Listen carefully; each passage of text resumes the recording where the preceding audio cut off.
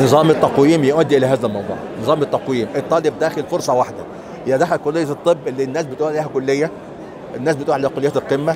يا دخل اللي ما نجحش. وبعدين ما حدش بيسأل حد أنت نجحت إزاي. حتى الأسر بدأت تشارك في هذا الموضوع. في قبول مجتمعي إن الطالب يجيب درجة عالية. ما حدش بيقول للطالب اللي جاب 100% أنت جبتها إزاي. كل ما إحنا بنفرق بين حاجتين بين الغش وبين التسريب. التسريب هيقل في الوزارة. لكن الغش الولد لو لقى فرصة هيغش ليه؟ لأن نظام التقويم بيؤدي لكده.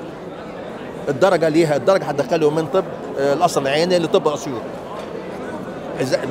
ما كلام غير منطقي وفرصة واحدة وامتحان واحد. طيب حضرتك شايف إزاي الحل في مواجهة الغش ده؟ غير نظام التقويم. لازم نستحمل لحد ما نتغير لازم نستحمل لحد ما غير النظام. كل الإجراءات دي إجراءات أمنية ليست إجراءات تربوية. أنا ضد ان إن موضوع الولد يدخل ويبقى مستني يبص على الدرجة اللي جنبه عشان ينجح. لا.